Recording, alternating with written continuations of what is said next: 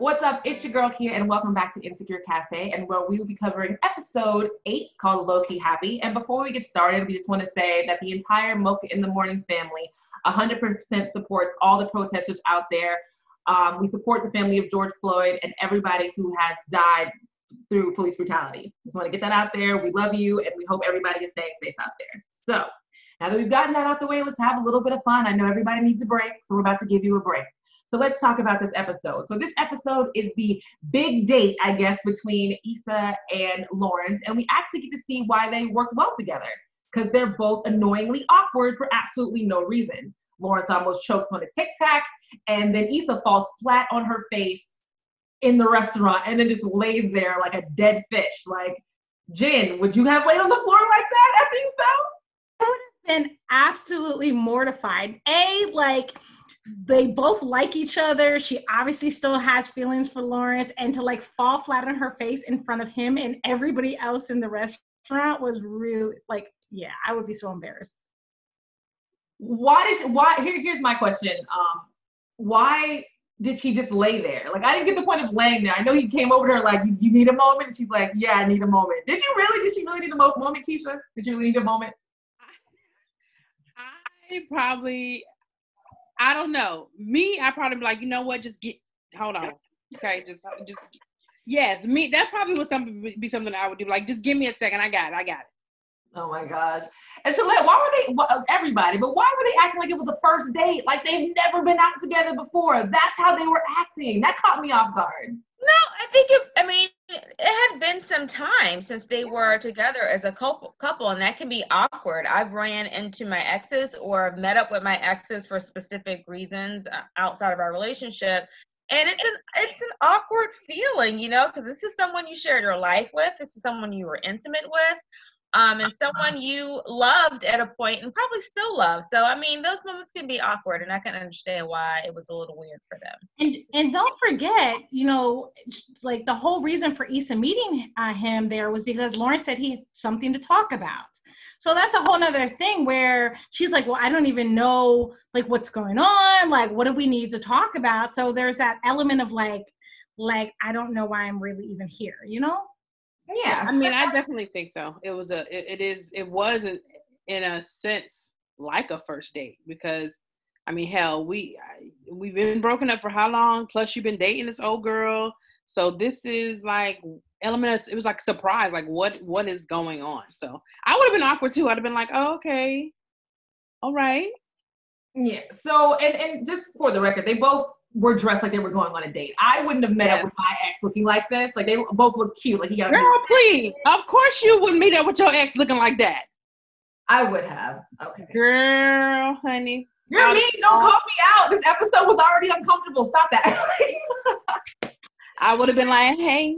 Okay, right. so now they're both having the conversation. They're having a little chit chat, and they're doing the normal banter of somebody you've been with for a while. You know, he knows her drink, but now she's got a new drink um, and he brings up the fact that he broke up with Condola, and it wasn't just me, or did she fake like she cared? Because if it was me, I wouldn't have cared. Like, oh, that's sad. Anyway, so let's just keep talking, and I don't want to hear about this.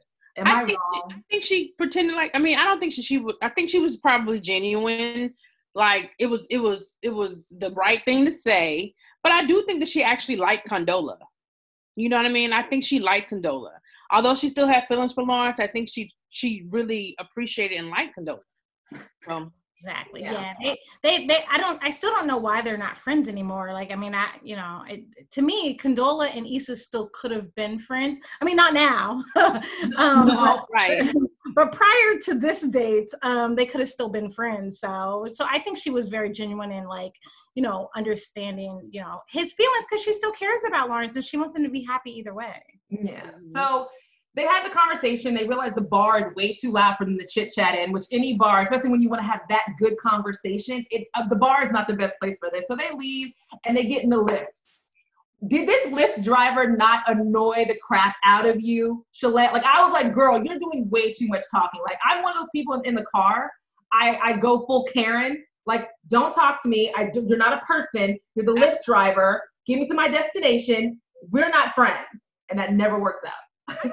thought that she asked for Issa had requested um, or Lawrence requested a Lyft uh, with no conversation. I thought that was like a button you could press, and you know, no conversation. But I guess this black woman was just overwhelmed with all the black love, right? That you know walked into her car, so she had to say, yeah, she had to speak on it. So, but they had barely the end part, but the end part, what you waiting on? What'd you say, Keisha? At the end, she's like, "Well, what you waiting on?" Right. And then she put a light in her face and was like waiting for a proposal. Yeah. And, but the one moment that was real, and I've had this moment again, sweating again, is when you find out that the ex you broke up with, the reason why they had gotten kind of weird is because they had bought a ring. They had put money down on a ring. And when he admitted that to her, I know that feeling of, are you serious? Did you really? Okay. What do I say to that? Like, what was, Jen, what was Issa supposed to say to that? Oh, that was tough. I because part of me was like, did he really? But then I was like, oh yeah, that's right. But like, you know, for her, like I can only imagine how it would feel like, like, hey, she always wanted to be with Lawrence. Like she always wanted to be with.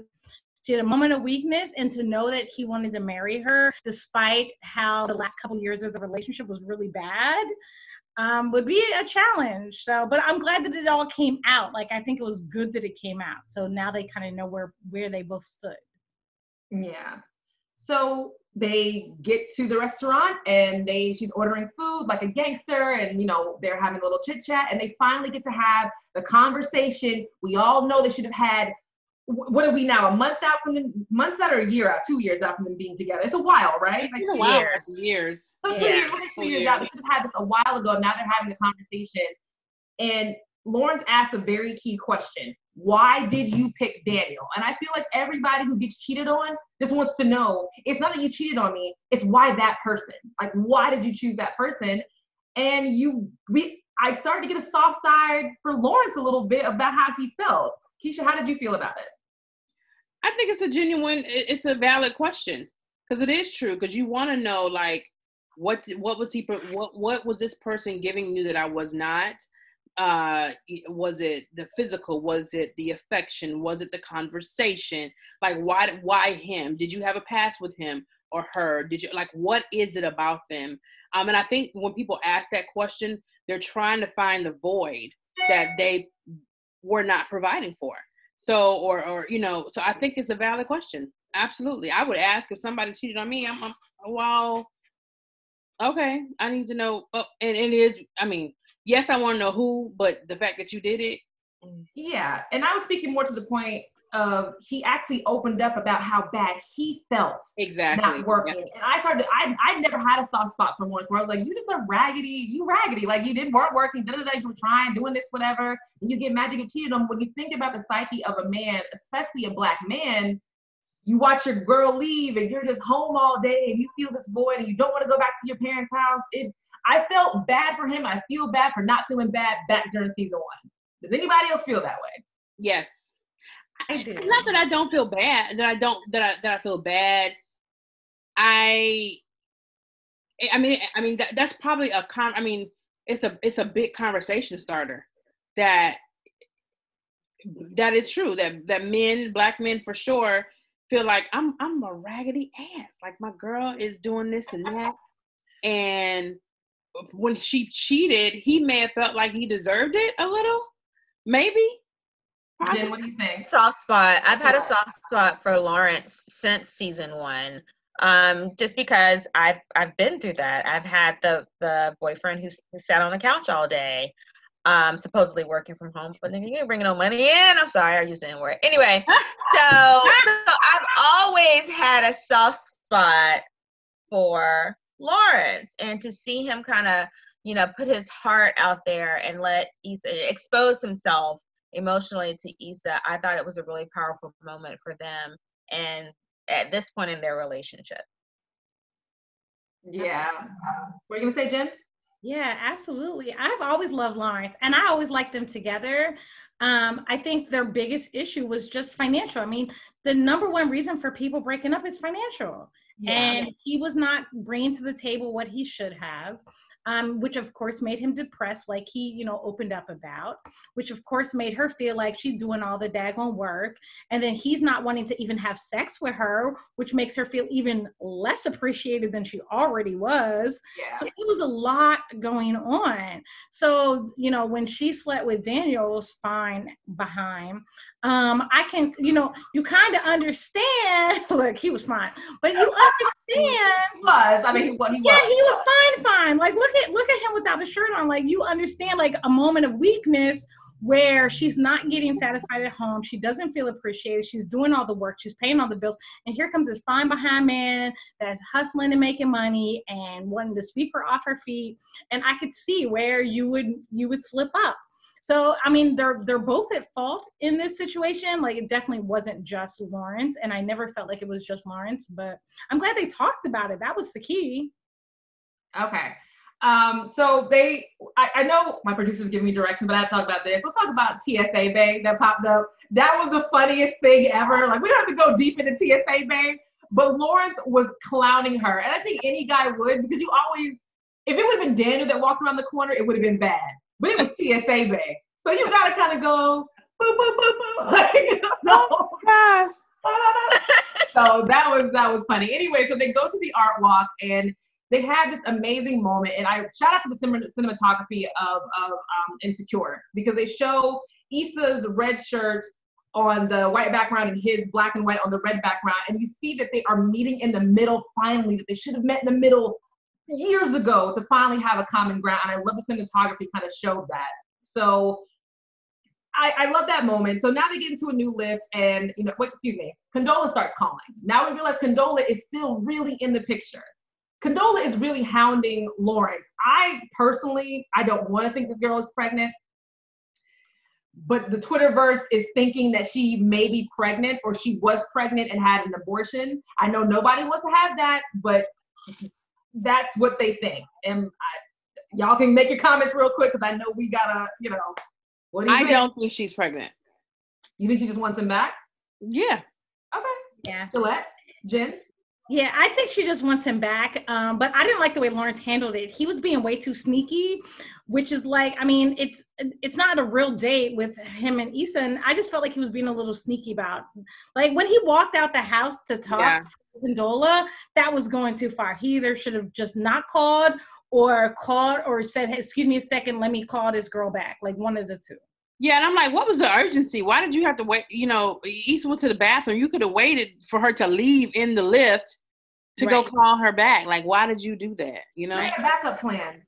I don't think she was pregnant, and I don't think that him talk, walking out to have a conversation with Condola is sneaky. At this point, he's just he's trying to have a moment of closure with his ex and possibly pursue a, another relationship with Condola, rekindle another relationship with Condola. He's honestly was trying to be fair to both of them because at some point he does say to Issa, because she realizes he was outside talking to somebody, you know, I'm sorry, you know, I had to, you know, take a call, whatever. So yeah. I I don't think that he handled it inappropriately. I mean, guys, I mean, we all have to, ha- when we're juggling relationships, especially when we're dating, that's how we have to juggle. Yeah, but so now we, we hit the moment of basically no return to happily going back to Condola, Condola in my mind. Um, Issa and him are sitting in the kitchen. I'm not in the kitchen, in the living room. They're having a conversation. I have had this exact conversation where you tell someone who knew you more than anything, you make me happy. You've always made me happy. You've had this amazing night. You felt great that that person who knows you was around you, and they end up having they didn't making love. They didn't have sex. They made love. Like it was a beautiful scene. And I know that connection that you have with someone who knows you better than anybody and you guys are in a happier space. It's imaginary. It's BS because it's not real, but I know that feeling in that moment. Has anybody else had that feeling? Getting sweaty again. Absolutely. Yes, I've definitely had that moment. Um, it's probably the reason why um, I stay pretty connected with my exes. Um, not just for that reason, but um, you know, with with certain people, like when you know that you have a connection with them, it's really hard to disconnect, even if uh, a lot of time has gone by. So I definitely get like wanting to um, you know, wanting to still be connected with the person and want to, you know, spend time with them. It happens all the time. We have the worst cast ever on this show. I'm telling you right now, like if you all could see the notes going back and forth as we talk to you, you would all die laughing. But it's, it's, it's, I ain't mad with it. I, listen, I've never burned a bridge with any of my exes. I've never allowed it to get I have point to oh. a point where we're not like civil and I'm like, we grown. We just yeah. don't want each other. You a good man, but you ain't my good man. Oh, I have exes who they know if you see me, get to the other side of the street because I will set you on fire. I will burn your house down. I will set your car on fire. It'll be a full protest just about you. Like, don't even look in my same direction. Mm. Like, I'm okay, back into the moment. So they wake up from making love and it's beautiful and nice. And um Issa decides to be confident, just walk home. Now, this girl said she lived around the corner. Now, I'm not sure what? how around the corner she said she lived. That was, that was a New York moment. Look, that's a New York block she was walking like, like girl. Right. Okay. That was, a long walk. that was a Jill Scott long walk, wasn't it? But you have to look at the um the symbol- symbolism behind that walk. Typically, yeah. you're a young woman, you have sex with somebody, you wake up the next morning, you practically still having on the same clothes and it's a walk of shame. Right. And there was nothing shameful about her walk. Her walk was absolutely liberating. It was absolutely a, a symbol of closure for her. I felt like, you know, eh, the everything that happened the night prior was everything that she needed to move forward in her life, whether it's with Lawrence, and which I don't think it will be, or yeah. with, you mm-hmm. know, whomever she wants to be in her life. Yeah, mm-hmm. I agree. So, do, so do you think she's going to end up with Lawrence or no? No, no. Okay, again, that really? feeling she had that night, it's not real. Again, I've been in her shoes. Like it's it feels real. It feels like a real thing. It's not real. It's it's emotions and past, and it's it's. Uh, I feel bad to say that, but it's imaginary. It felt good that night. The sex felt good. It's not gonna last. I agree all the way with you, Kia, on that. Mm-hmm. I, don't I feel a bit. I I know that. No, I'm not because I think that it could be a real situation. Like if they feel like, because uh, some people need to be apart to realize that they they are meant to be together, and yeah. so while for TV, you know, maybe it's not gonna work out because we would love that but I do think in real life, people absolutely have separated and come back together and been great. Yeah, I mean, I needed to grow. They needed to grow. Exactly. I dated a guy eight years ago, um, and we're kind of dating right now. Um, you know, taking it slow, but I, I, think it. I think time changes a lot of things. We we get into different places um, on both sides where we grow and we decide that you know we're different people, and now as different people, we find a better connection. So I think it's possible. I mean, I have some really close friends who were dating, separated for a few years, and now they're married with a kid and in love, like great. Okay, before we put people's business on the streets, because I feel like that's where this is going and talking about all of our exes. And no, I'm just saying. It can We're gonna wrap this up. I I want everybody again watch Insecure next week. We only have two more episodes left before the season is over. I, the season went by super duper fast. So please watch Insecure on HBO on Sunday night so that you can join our conversation. And we will see you next week on the Insecure Cafe. Bye, guys. Bye. Bye.